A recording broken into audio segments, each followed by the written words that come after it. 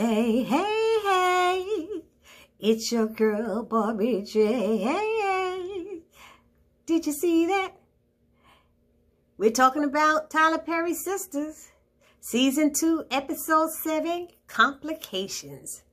Did you guys see that? Oh my goodness.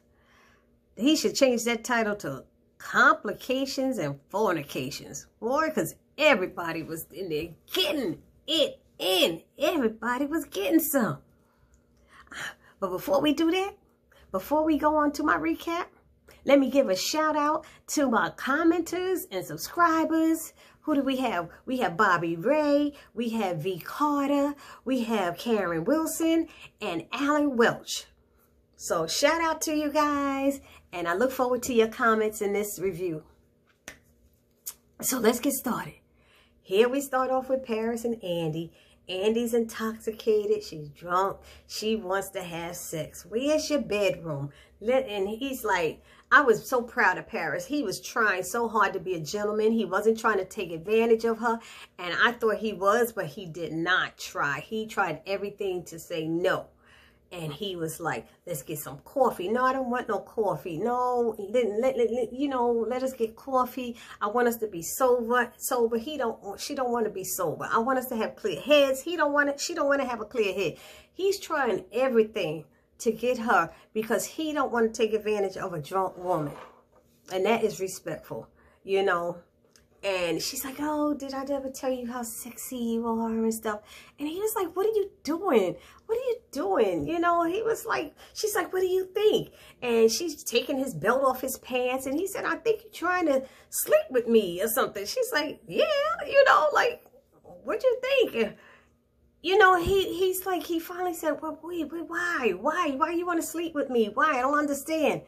And he's like, wait, do you do this often? And that sobered her up, ladies and gentlemen, real quick. Her feelings got all hurt. She was all up in her feelings and stuff.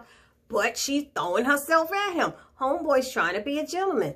So she wants to leave. I'm out of here. I said, oh, she sobered up real quick. And he's like, no, no, I don't want you to go. He ain't going to let her go out there, you know. And, and, and she's drunk by herself. She can't even drive, you know. So she, and matter of fact, he drove her. What am I saying? So she takes off all her clothes, the dress, and unwrap it. She had one of this bad, hot, red teddy. I was like, you better work it out, Andy and she had a big old butt. I was like, I didn't know Andy was built like that. Maybe I wasn't paying attention to her outfits, but how they fit on her. But she was looking good. And so she was like, come on, come on. He said, I don't understand. He said, what is happening here? You know, one minute you're mad at me. The next minute you were blowing me off. He's like, you know, she's like, Paris, just shut up. Just shut up and do this. And, and she, oh man, they started getting it in. He was saying, no, no, no, he tried. Anyway, he tried and it didn't work. So then it switched over to, you know, he, he's a man. So, so it switches over to the bar. The party's over. Maurice is sitting at the bar with that, that the gay bartender. The other bartender, the black one, is dancing on the dance floor with Danny, and he's watching him. And he's like, what's up with them? What's up with her? And Maurice goes, she dickmatized. he said she's dickmatized. I fell out. I was like, that is so, uh, give me a minute. Because even when I say it, it's so funny. I'm like, dickmatized? Oh, Lord. So he's trying to find out what this guy's deal is on the dance floor with Dan. Danny, and he learns that the guy is a hustler. He's like, a hustler? He said, oh, let me go get her. Let me get her right now. And the bartender's like, but wait, I thought you didn't like her. He's like, I don't like her. He said, but I work with her friend, and her friend will never, I'll never hit the end of it. I will never hit the end of it if I let anything happen to her. So he goes on the dance floor and tries to get her off the dance floor, telling her, we got to go. I need to get home. And she's like, well, you came with Maurice. I mean, you came with Calvin. He's like, Calvin and them left a long time ago while you was under homeboy's armpits. He said, we got to go. I gotta go. And he's like, you don't want him. She's like, with James, you gonna come with me? She's like, he's like, no, no, no, you don't want him. You don't want him. You talking on his teeth. No, baby. No, baby. You don't. He's like, she's like, why? Is, is it disease? Isn't it disease free? He said, as far as I know it is. He said, but she said, then I want it. I want it. she was like, I said, them two together is like Laurel and Hardy because they the funniest two on the episode. So I'm like, oh my goodness. So she wanted to go and he was like, no, no, no. And he ended up saying, you got to drive me home. She said, well, then you got to give me gas money. And he's like, don't, don't you owe me money anyway? You know, he's saying, wait up. These shoes are killing me. And they running out and stuff. And she got the guy James coming with them. I said, Lord, help me. Lord, help me. So anyway, then you got Karen and Aaron. I didn't realize that rhymed. Karen and Aaron, they pull up to Karen's apartment and I guess this is her first night sleeping in that apartment because the other night she slept at um, somebody's house and then she slept in her in the uh, salon. So she goes there and she she told him he didn't have to get out. He was getting out. She's like, don't don't get out. You don't have to get out. He's like, why? You don't want me to come in? She said, no, that's all right. I'll be okay. He said, you sure? He said, but I got to make sure you'll be okay. Let me walk you to the door, make sure you're fine and get inside. Then she admits she wants him to um to stay. And he volunteers to stay on the couch and he sleeps on the sleeps on the couch. And she said, are you sure you're going to be okay? Are you sure on the couch? And he said, yeah, I'll be fine. You know, he said, I'll be, he, he said, I'll be strong. He said, you know, trust me, trust me. He said, I got us. I said, oh, I got us. I like the way that sound. Mm. So then they go to Danny, makes it to her house. Danny makes it to her house, apartment with um James. And they walking in the apartment and she they fussing or something like that. And she telling him to stop acting like he he wanna go home. And he's like, ain't nobody said they want to go home. I'm just saying, he was saying. She was like, look, just relax. So he said, well, do you got something to drink? Do you have something to drink? And so she's like, mm. she said, I got something else better than that. He said, oh, no, I don't do no crystal meth. I don't do no. She said, what? Crystal meth? The hell you talking about some crystal meth? She looking at him like, I, am talking about some weed. Do I look like I do crystal meth? She's like, dude, please. And he's like, well, you know, it, it, a lot of it was in the club that last night. And she, she said it was. He said, yeah, and your boy was doing it. My boy, who my boy? Calvin. She said, you saw Calvin do it? Mm, Crystal, she said, you saw him do it? Yeah, he was in the bathroom. You saw him do it? She, he was like, yeah, he was in the bathroom doing it. She was like, oh, no. She said, I think I got to make a phone call. And he's like, uh-uh, uh-uh, not right now. Because all of a sudden she got to make this call. He's like, nah, nah, not until we, we take care of what you brought me here for. She said, and what did I bring you here for? He, she, he said, you know, he she's like. Look, she's like, look, you going to have a drink. you going to take a couple of puffs. And you going to take your ass home. And he's like, okay, all right. You didn't get me here to talk. He said, I know you didn't get me here to talk. He said, but that's okay. Where's your bathroom? He goes in her bathroom and starts taking a shower. I was like, meanwhile, she out there trying to call Sabrina. I'm like, isn't it like 2 in the morning? She the last one that left the club, so probably more like 2 or 3 in the morning. You know, and she, she keeps calling Sabrina. Sabrina had to be reaching for the phone while she getting it in, getting her stuff in with Calvin. What is wrong with people? Why are you answering the phone in the middle of sex? Sex can't be that damn good if you won't stop to answer the phone. You got a voicemail. You got an answer machine. Let it pick up. Let it pick up. Anyway, she kept on going with it. So Danny kept calling her. I don't know. That, that was so rude. Till she finally answered, you know. And she answers the phone. And, and Sabrina tells her, I mean, she tells Sabrina what she heard about Calvin. I thought that could have waited till the morning. I mean, let me know. Could that not have waited till the morning? She's so quick to tell something, and then she don't even want to have sex. She came home to get her her kicks off, and she she interrupted somebody else getting theirs. So she tells her what's going on. And, and Sabrina's like, I can't hear you, I understand you. And she's telling him, the fine bartender told me that he was doing crystal meth, messing up her groove, messing up her evening because after that, she started acting strange. Sabrina acted strange the rest of the night. And she said, Danny told her, look, that's what I found out. I'm giving you the information. Do with it whatever you want to do with it. Messed up Sabrina's night.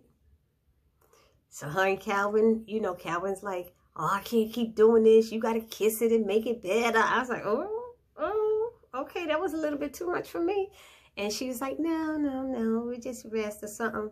And he's like, saying how much he loves her and stuff. Girl, I love you so much and stuff.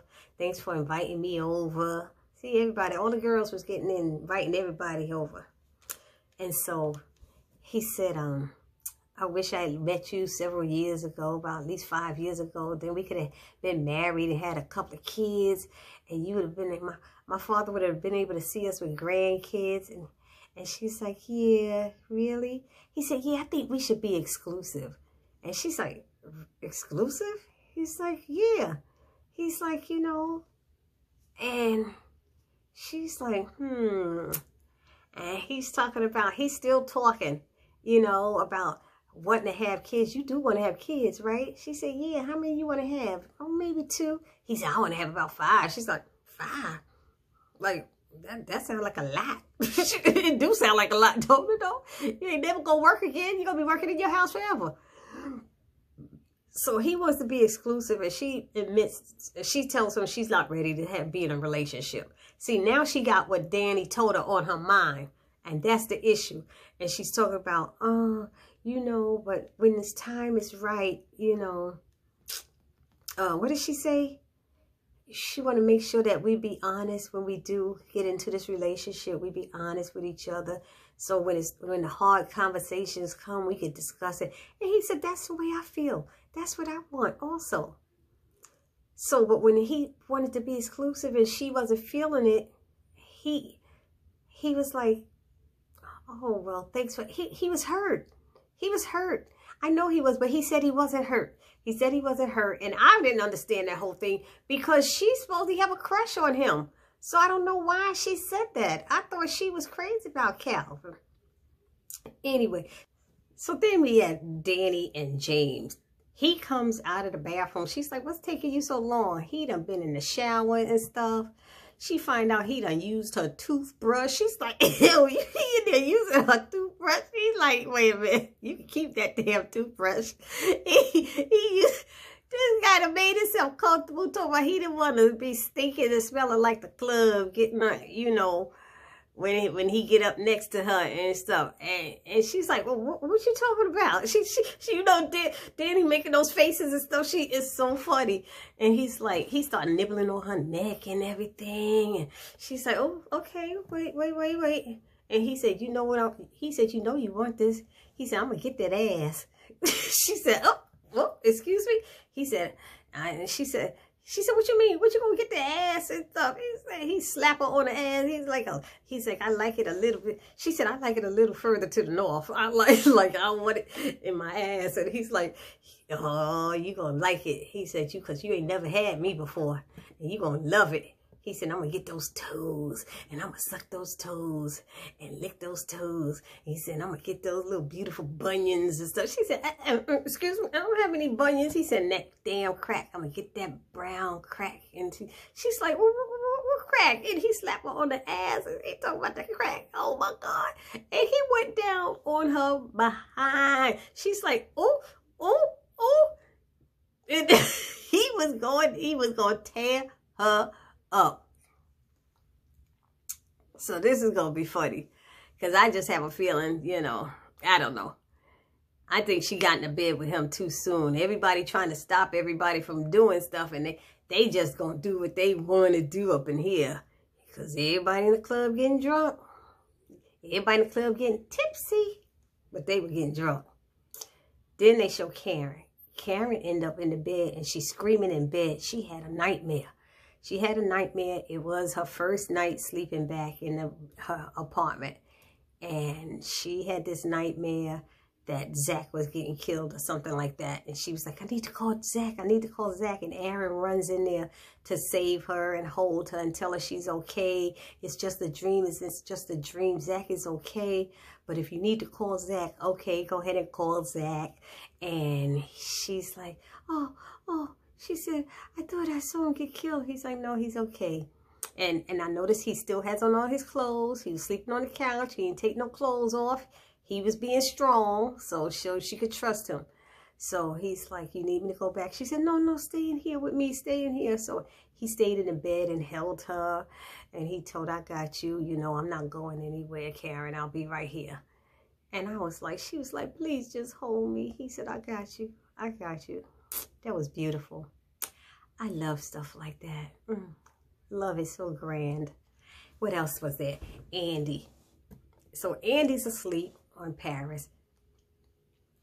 And he, on the couch. And some lady comes in the door. Oh my God. This lady comes in the door. And I'm like, who the freak is that? I mean, is who is that? The cleaning lady? Or is it his mama? The boy still live with his mama. I said, oh, snap. She woke them up. And she said she lives in the basement. And what we end up learning, excuse me, what we end up learning is that they work together because his mama knew everything that happened to uh, Andy when the FBI came and all that stuff. She let Andy know. But she she said she um Andy was like they she woke him up. She's like disgusting, you know, you know. She's calling him all kind of names and and she's like, Oh, can can I get my my, my dress and stuff? She said, No. No, because we gonna talk. we gonna have a little chat. And he's like, Mama, Mama, mama. He, he kept like, obviously him, but they making him out to be a mama's boy. And she's like, he's like, I think the mother said, you're going to have to get out of here. Boy, get out of here. He said, can I have my clothes? And he trying to get dressed right there. Boy, I seen you how you look before. I changed your pampers. I hate when mothers say that. He that boy, I don't know how old he is. She's like, I changed your pampers. so I know, I know who you are. Diapers. She might have said diapers. Don't want to be shouting out and giving no calls out. Anyway, so he's like, he gets dressed and he he just like, Mama, you gonna have to go. She said, excuse you, boy, get out of here. And she, Andy sitting there going, you just gonna leave me here with your mama? Okay. And she not dressed or anything. And his mama laid into her. She laid into her. She said, I heard everything because I live right downstairs he he tried to talk to you. All he wanted to do is talk, but you came here with your mind made up what you wanted and what you wanted to do. I said, oh, snap. And she was right. She said, so what happened to you? What happened? Did your boyfriend break up with you? Did he hurt you? Did he upset you?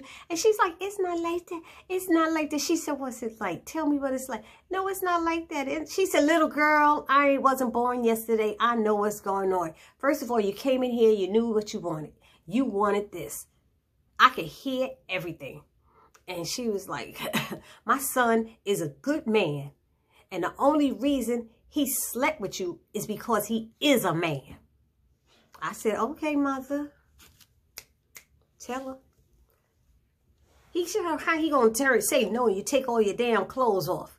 She said, all he wanted to do was talk. But you was mind made up. She told her, you too pretty too smart. She said, you too pretty and smart and nice and sweet to be anyone's one night anything. I said, oh, my Lord.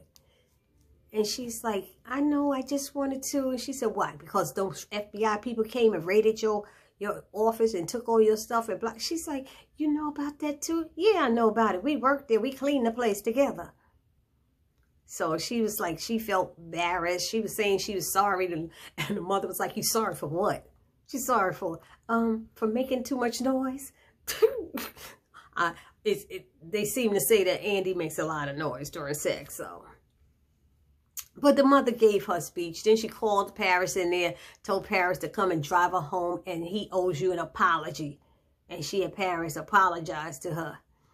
And they went on to the next thing, which was Fatima and Zach. And I, I don't know how this went down. I don't know why what what what attracted Fatima to him. But um keeps telling him that he's gonna do great, you know, with this real estate business and he's like saying, why do you keep saying that? You know, and she's like, because it's true. He said, yeah, but why you keep saying it? She said, because I got you. She's like, I got you. He's like, what do you like wake up and doing affirmations each morning? She said, yeah, actually I do. He's so funny. And she's like, actually I do. You know, and she told him, you know, you got to believe, you got to start believing before anyone else will. You know, you got to believe in yourself because nobody's going to have, there's a lot of haters out there, people. People not going to believe in you. You got to believe in yourself. And I know this for a fact. So then she's, she gives him the keys to a truck and she said it belongs to the program. So please don't misuse it or get into any trouble. He's like, that's how I got into this whole thing. I started out with trouble, you know, and she was like, I forgot what she said. She said something funny. He's like, oh, oh, he said, oh, you smell so good. Cause she said, zip me up. You smell so good. And she's like, yes, I bathe. He said, oh, funny and beautiful. You know, she's like, he's so crazy, Zach you know, so she said, I'm going to leave you the address to go to the house tonight. I guess this is part of the business thing that they're trying to do. And she said, be prepared to work all night because you might have to. And so she's telling him, you know, he's like, well, where you going? She's like, I'm going to work. And he's like, going to work? How you going to work? You just going to leave me here? She said, yeah, I'm going to leave you here. She said, I don't think you would steal anything from me, would you? She said, I think that would be stupid for you to do that. She said, you should be thanking me instead of stealing from me. And that's what I'm saying, because she bailed him out. That was five G's. She don't even know him. Like he said, you don't even know me. She's like, he didn't worry about that last night. You knew me well then. But anyway, so she said she would leave him there. And before she left, she said, oh, you might want to hit that uh toothpaste and mouthwash over there. He's like, oh, is it that bad? She's like, yeah. I said, so she got jokes too. And I think it left off with next, what was it, Aaron and Karen at breakfast. And he cooked us some breakfast. And they're sitting there doing small talk. And um, he said, you didn't have much in the refrigerator. And she's like, yeah, I got to go grocery shopping. He's like, you want to go tonight? I'll take you. You know, so they made plans to go tonight. And he was leaving. And um, he said, today was the first day I woke up and felt everything would be okay. And he's like, I talked to God and everything. And she said, what did he say? He said, yeah, everything's going to be fine. I got you. So, so that was nice. So he decided he was going to leave. And before he left, Andy came. So he kissed uh, Karen goodbye. And in comes Andy. And Andy's doing her walk of shame, you know. And Karen, she was trying to tell Karen she's going to get dressed. And she was like, no, you're not going nowhere till you talk to me. And she said, you feel bad, don't you? You're embarrassed of what you did. She said, yeah, I am. You know, she said, but, um, what did she say? I beat myself up about it. She said, I already beat myself up about it and I don't want to hear it. She said, because that's all that stuff is about, you know, getting Gary out of your system. And she's like, what did you say? What did you say? Stuff? You know, she cut that little, you see how people do that switch and try to change it from being about them to somebody else. Why'd you say stuff? She said, usually you would say, she said shit or whatever. She said, well, she said, the, the Reverend getting to you, huh? The Reverend getting to you. She said, no, not really. Then she said, yeah, well, maybe. But, hey, she said, like she told her, there's a difference between saying shit and stuff and sleeping with a stranger. She said, you slept with a stranger, you know, and she was like, yeah, I feel, she said, but his mother read me. His mother was, his mother, yep, she heard everything. You know I'm loud. She's like, he, she heard everything. And supposedly he says that he, that she lives with him and they were laughing they said that's what men do who live with their mamas they always say she lives with them and i had two friends like that that's what's so funny about it because that's true for most of them anyhow, going on. Um, there was something she said that was funny. Oh, she said his mother, yeah, his mother read me the Riot Act. She read me the Old and New Testament. She read me like the Old and New Testament. I said, okay, that was a good one. And um, what else? I guess that's it with them. But they had their little small talk and, you know, both of them, well, Karen is, seems like she's the only one that didn't do anything that was just so bad. Well, not really Sabrina either, but then Sabrina let what Danny told her get to her. So But those were the different complications and things that were going on. Um, what else? Oh, Gary. So they show Gary. Gary and, oh my gosh, Gary at the precinct with his attorney, Ellis. And Gary is, is Ellis is telling him how bad everything looks. It doesn't look good and stuff like that. And um, Gary's like, yeah, but it wasn't me. They set me up, blah, blah, blah. He said, yeah, well, isn't this your signature? That's not my signature. He said, looks like your signature. He said, that's an electronic signature. He said, does Jasmine have access to this stuff? He said, she's my wife, dude. She have access to everything. So he said, okay, well, I'm going to go and try to get you out and take care of it. He said, yo, look how they got me with these chains on. he's handcuffed and stuff. So he said, okay. And he started to get up to go. And he said, wait, wait, wait. Did you do what I told you to do? Did you, was you able to do what I asked of you? He was like, oh, man, like, like you don't want to hear about this. He said, no, no, what, what? He said, you're not ready for this. What, did you, did you at least, he said, I didn't get to talk to her. You didn't get to talk to her. Did you at least tell her what I said? You know, he said, I, he said, I know they were at a club for the, the gay club. Uh, he said, I went, but I couldn't get in. I couldn't get in. He's like, come on. You lying to me? He's like, yeah. He said, I got in, but she was busy. He said, he kept telling him, you're not ready for that.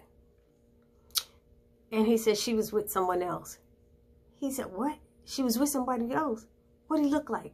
What was they doing? He said, oh, they were just dancing. He said, what did he look like? He said he was bald. He said, was he tall with a beard? He's like, yeah.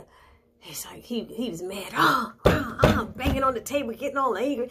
I was like, you know what, really, Gary? He got a temper. Well, I don't even know how he could keep anybody. She need to stop messing with him because he seemed like the abusive type. I don't care what nobody say. He seemed like the abusive type. And she need to stay away from him. So anyway, he got mad. He's like, get me out of there. I want my money. I want you to get my money. I sent her money and I want it. Go to her office and get it now. He talking to him like he a dog. And he's yelling at him. You'll let me know. But I didn't like the way he was bossing him around. You know, the dude was trying to help him. But he was bossing him around and yelling at him and stuff. So, um, he went, um, he, he stopped him. He said, I'm going. He stopped him and said, wait, wait, wait. How long was you looking at them? How long did you watch them? He said, just a few minutes. That's it? That's it, just a few? He said, yeah, only a few. They was just dancing. He said, oh, okay, okay, okay. I said, that guy, mm-mm, mm-mm. Asking him how long did he watch and sending him there to the club. It is just, uh, I know the attorney was like, that's not what I get paid to do. No attorney wants to do that. And then it ended with Danny and Preston. Once again, he's gotten into her house by the landlord letting him in. And not for nothing, Danny is right. If Preston was a black man, that landlady would not be letting him in all the time. How you let somebody in? All you have to do is ring the damn doorbell. He never rang the bell. So what's she letting him in her house for? I'm like, oh my gosh. She said, you know, I forgot I got to cuss that lady out. And he's like, but Danny, I apologize. You know, he said, I get it now. I didn't get it before and I'm sorry. I'm so sorry. She's like, he said, why are you looking around? Because she looking around like, she looking around like, where that damn dude at that was in my bed? And she's telling him, no, you got to go. You know, I got to go to work. Get out of here. I'll call you later. You got, we got to go. Okay, okay.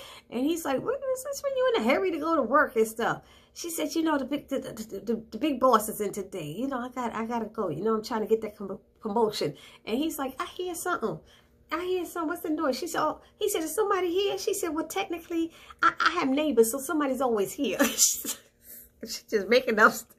Daddy just, Daddy just be making up shit. She be funny. She's like, he said, it's the pipes. She said, it's the pipes. It's an old building. She's she's doing everything. He's like, it sounds like somebody in the bathroom. She said, you sure your ears are good? She's like, my ears is fine.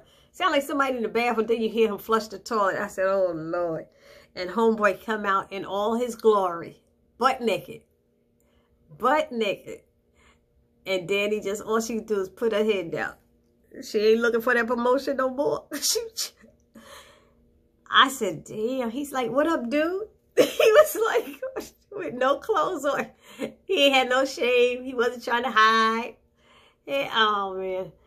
This was a good episode. I enjoyed it. I really did. I hope you guys enjoyed it too. Let me know down in the comment section. Barbi Jay saying peace.